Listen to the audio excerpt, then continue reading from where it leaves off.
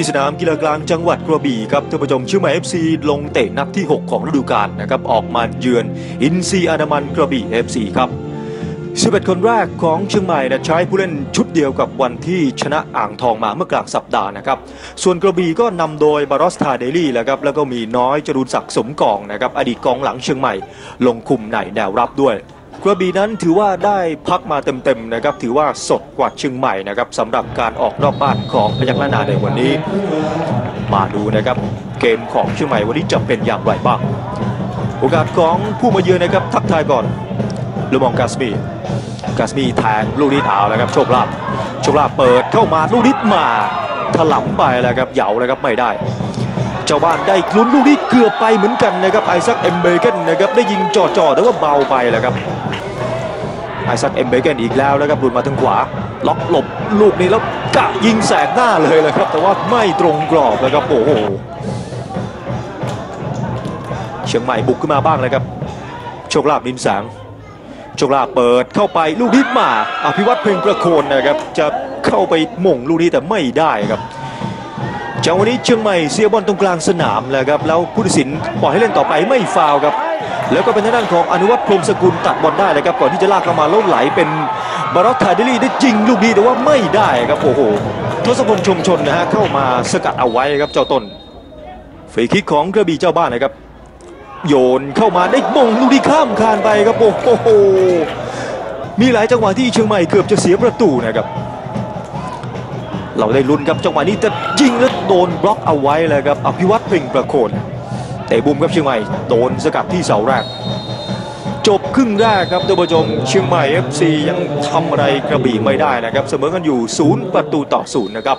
เกมยังคงอึดอัดอยู่เลยครับมาดูกันต่อในครึ่งหลังนะฮะยังใช้ผู้เล่นชุดเดิมครับเชียงใหม่ ขึ้นมาทางซ้ายครับรูบองกาสมี กาสมีเจอกับโคเนเซดูกาสมีหลบมาได้ครับดูลีลากาสมีครับดึงผู้เล่นกระบี่มา 3-4 คนนะครับมา เป็นจอมทัพที่แฟนบอลพยัคฆ์ล้านนานั้นต้องการจะเห็นฟอร์มมากที่สุดนะครับกาสมีโอกาสของกระบี่ครับลากขึ้นมา หลบลูกนี้เอาแล้วครับ แล้วผ่านประตูไปแต่ยังมีนี่ยฮะโอ้โหลองอีโจแอลแล้วสกัดแทบจะบนเส้นเลยครับโอ้โหเกือบไปครับเชียงใหม่เกือบจะเสียประตู ฟรีคิกของเชียงใหม่ครับกัสมีเปิดเข้ามาลดมงดูดีอ้าวเรียบร้อยเลยครับหนึ่งประตูต่อศูนย์ครับโอ้โหโชคลาภนิ่นแสงครับ เชียงใหม่ได้ประตูที่ต้องการแล้วเลยครับมาดูภาพช้าครับกัสมีเปิดเข้ามาแล้วโฉบโมงก่อนที่เสาแรกแต่บอลเช็ดเหลี่ยมไกลแล้วเข้าไปเลยครับที่เสาสองอะโอ้โหโดนบอลเปลี่ยนทางนิดเดียวครับโชคลาภนินแสง กระบี่เสียประตูแล้วเปิดเกมบุกแหลกเลยครับคราวนี้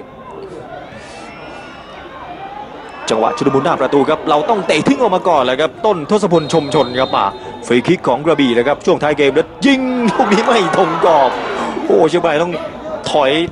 รับแล้วรอสวนกลับแล้วครับตอนนี้ บุกแหลกจริงๆครับกระบี่ท้ายเกม พยายามจะเท้าโอกาสยิงแต่เรายังเหนียวเลยครับช่วยกันยันเอาไว้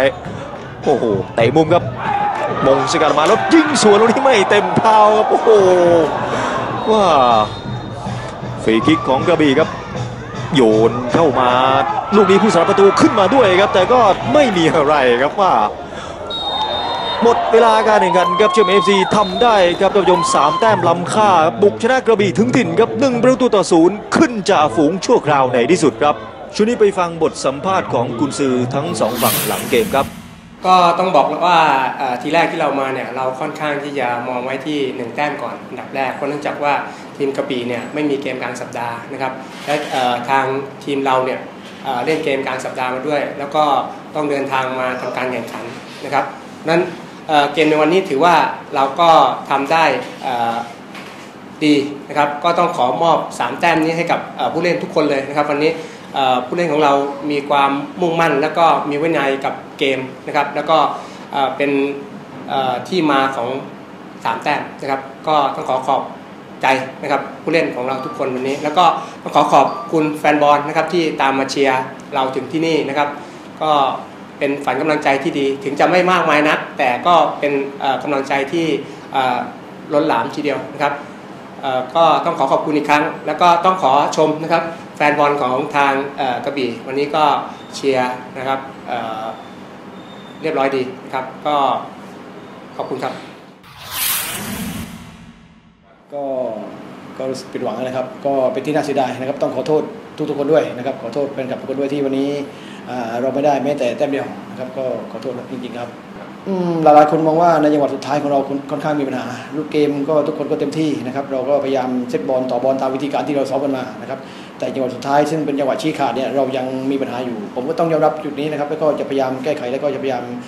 ซ้อมตรงนี้หนักขึ้นนะครับครับผมเรา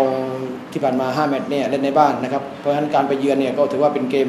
ที่หนักทีเดียวโดยเฉพาะแมตช์แรกที่ต้องไปเยือนอุบลด้วยนะครับ ก็ถือว่าเป็นเกมเยือนแล้วก็เจอกับทีมต้นตารางแต่หัวตารางด้วยก็ถือว่าเป็นเกมหนักนะครับ กมในบ้านเรายังทำไม่ค่อยดีนะครับในในในในอย่างที่ผมบอกเมื่อสักครู่ในเรื่องของ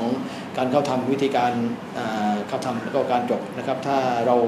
อ่าทำได้ดีกว่านี้เราก็คงอยากมีแต้มใน2อสามแมตช์ที่ผ่านมาในแมตช์ที่เราพลาด ไม่ว่าจะเป็นแมตช์ย้อนกลับไปอย่างแมตช์ท่าเรือนะครับพวกผมยอมรับว่าทุกคนก็โอเคน้องๆทุกคนเต็มที่กับเกมแล้วก็เล่นดีนะครับ แต่ในเมื่อจบไม่ได้ในเมื่อยิงไม่ได้มันก็ต้องยอมรับจุดนี้นะครับเขามีโอกาสเขาทำได้ก็ถือว่าเป็นโบนัสของเขาไป